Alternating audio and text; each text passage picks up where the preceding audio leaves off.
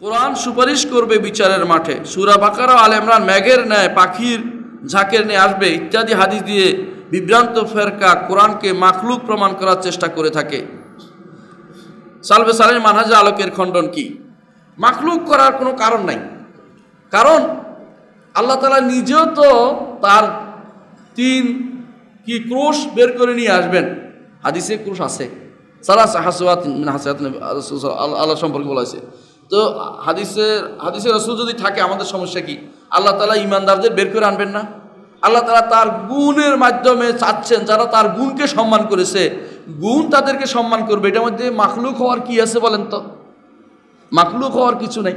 এটা হচ্ছে গুণ তাদেরকে সম্মান করার জন্য একটা সুরত দিয়ে নিয়ে যাবে, গিয়ে তাদেরকে সেখান থেকে বের করে নিয়ে আসবে।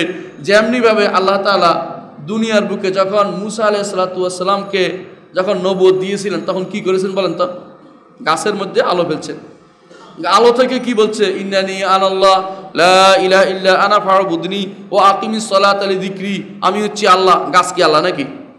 আল্লাহ তালা তার গুণের সমাহার সেখানে ঘটে, সেখান থেকে কথা বের করে দিয়েছেন এটা আবার ওদের মাখলুক ওদের মাখলুক করার কি দায়িত্ব? মাখলুকের তো কিছু না আলো পড়েছে, তার নূরের আলো পড়েছে। যিনি ধরতে যায়, আরেকটা চলে যায়। তিনি দৌড়ে দৌড়ে তো, আল্লাহ, আমি তো ইয়ে হয়ে গেলাম। আপনার এটা কি জিনিস দেখতেছি? আল্লাহ বলছে, আমি তো আল্লাহ বলছি, তোমার জন্য কি? তোমাকে নবদ দিচ্ছি। ফেরাউনের কাছে যাও বলে দিলেন যে, আল্লাহর পক্ষ থেকে আলো যিনি ঠিক তিনি যে ঘোষণা দিয়েছেন, এখানেও ঠিক ঘোষণা দিয়েছেন যারা আমার এই গুণটি নিয়ে পড়ালেখা করবে, তাদেরকে এই গুণটি নিয়ে আমল করবে, তাদেরকে কে আমাদের মাঠে এগুলি আসবে। এই দুইটা সুরে এই বিরাট ভূমিকা নিয়ে আসবে তাদেরকে তখন, ছায়া হয়ে তাদেরকে তখন নিয়ে যাবে। তো সুপারিশ করবে তো ভালো কথা বলছে। এখানে আপনার মাখলুক হওয়া জরুরি নয়।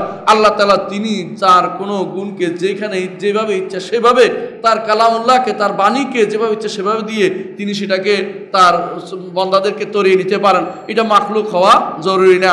এটা আমি জানি কেউ কেউ এটা বলে থাকে, কিন্তু আমরা যেটা বলছি এটাকে খেয়াল রাখবেন। আশা করি বিষয়টি আপনার বুঝে আসছে।